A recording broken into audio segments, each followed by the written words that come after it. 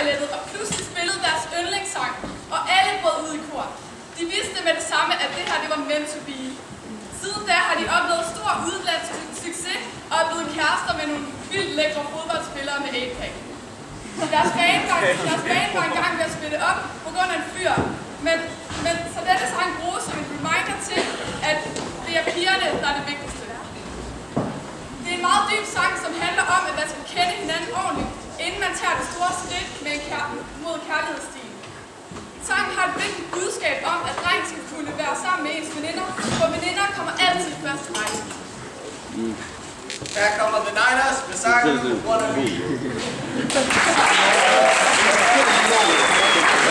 We?